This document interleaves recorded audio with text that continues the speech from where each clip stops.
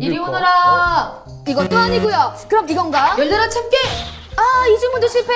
그런데 이때 아 저기로. 네, 저 한밤으로 예약했는데요. 열려요. 야 이거 뭐야? 어, 놀랐어요 첨단 지금. 시스템. 아, 도대체 어떤 곳이길래 이렇게 철통 보안을 유지하고 있을까요? 어 잠깐만 이거는 왜 그냥 열면 안 돼요? 네, 안 되세요. 이쪽이 저희 스파로 통하는 룸인데 네. 아무나 이렇게 들어올 수 없게끔 지문을 인식 통해서 들어갈 수만 있어요. 지문 인식이요. 네. 정말 대단하죠? 스파로 들어가는 것조차가 쉽지 않은데요. 그런데 여기서 끝이 아닙니다. 문을 열고 또 열어 삼중문을 통과해야 마사지 룸으로 들어갈 수 있는데요. 이토록 철통 보안을 자랑하는 에스테틱. 이곳에서 스타들의 아름다움을 가꾸기 위해 쓰는 비용은 최고 150만 원 선이라고 합니다. 와. 절대 다른 분이랑 시간을 겹치거나 또 같은 룸을 이용하지 않게끔 네. 저희가 이렇게 예약을 철저하게 하고 있어요. 기억에 남는 에피소드 같은 건 없으신가요? 어떤 분은 오셨는데 네. 다음 두 번째 방문 때는 다른 분이랑 오셨더라고요. 어머 진짜요? 네, 뭐 저요 뭐 놀라운 척하지 않고 처음 오신 듯이 네. 이렇게 응대하고 그랬죠. 어딜 가나 많은 사람들의 시선에서 자유롭지 못한 스타들. 그들이 은밀한 곳을 선호하는 이유가 있을 텐데요. 편안한 복장이나 민낯으로 외출했을 경우에 일반 대중들한테 휴대폰이라든지 그런 카메라 등에 찍혀가지고 어, 그 다음날 인터넷 이슈가 되면 아무래도 좀 이미지적으로 좀 이렇게 클릭이 갈 수 있는 소지가 있기 때문에 프라이빗한 장소에 만갈 수밖에 없는 직업적인 특성인 것 같고요.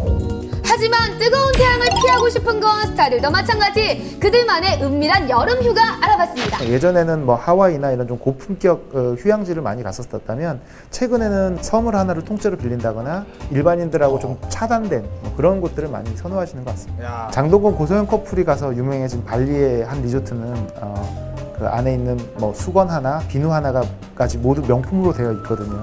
이효리 이상순 커플이 갔다 온 팔라우 같은 경우는 무인도가 굉장히 많이 있는 섬입니다. 연예인분들이나 이런 분들이 가시면 배를 한 대를 뭐 두 분이 빌리셔서 거기를 이제 들어가면 아무도 모르죠.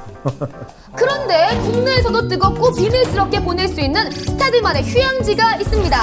스타의 은밀한 바캉스 3위. 수풀이 우거진 이곳은 아니 도대체 또 어디 계시길래 이 숲 속까지 부르신 건가? 어, 가셨네요. 쑥 한가운데서 만난 스타는 바로 개그맨 오지연 씨 가족이었는데요. 아니 근데 산속에 지어진 네. 이 집 같은 건 뭐예요 도대체? 좋죠. 아, 이게 글램핑이라고 해가지고요. 네. 캠핑 용품 같은 게 없는 사람들이 네? 이제 네. 몸만 와가지고 즐길 수 있는 그런. 아, 저런 데가 애들 있군요. 두 명이면요. 챙길 게 아시는 분 아시겠지만 이사 한번 가야 돼요. 그렇죠. 네. 이 럭셔리한 캠핑장은 서울 근교에 위치해서 접근성은 물론 캠핑의 모든 것을 갖추고 있고요. 게다가 캠프 사이 간격이 넓어 사생활도 보호된다고 하니 스타들이 선호할 만하죠. 딸이 저기 생각보다. 엄청 예뻐요. 사람들이 하는 얘기가 있어요. 뭐라고요? 오지현이 기적을 낳았다. 뒤에 아빠 닮았어요? 엄마 닮았어요? 예쁘다 닮았어요? 진짜 어떻게 저렇지? 아빠랑 닮은 데는 없어요? 이모 얘기 안 해?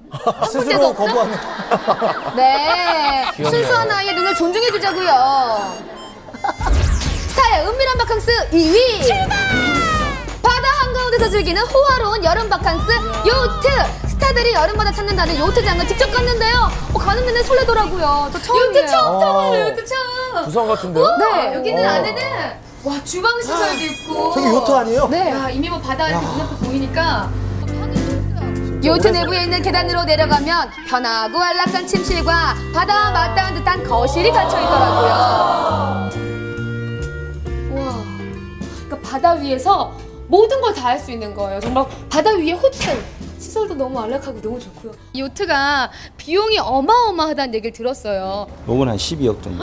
최고는 한 거의 한 뭐 100억 가까이 되는 90억 정도 것도 있고요. 요트라는 건 시간을 구애받지 않고 네. 자기 혼자서 그 private하게 나와서 언제든지 즐길 수 있는 거라고 보시면 됩니다. 그렇다면 스타의 은밀한 바캉스 1위는 많은 스타들이 사랑하는 곳이죠. 국내 최고의 휴양지 제주도 이곳 풀빌라에서 휴양을 즐기는 스타들이 많다고 들었는데 맞나요? 어, 어, 올해만 해도 한 10분 정도 오신 것 같습니다.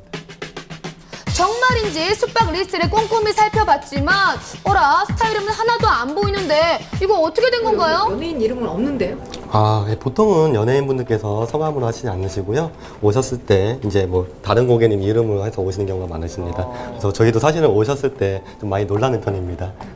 스타 스타들이 자주 묵고 간다는 풀빌라 안 보고 갈 수 없겠죠? 입구부터 와 소리가 절로 나더라고요. 지금 보시는 게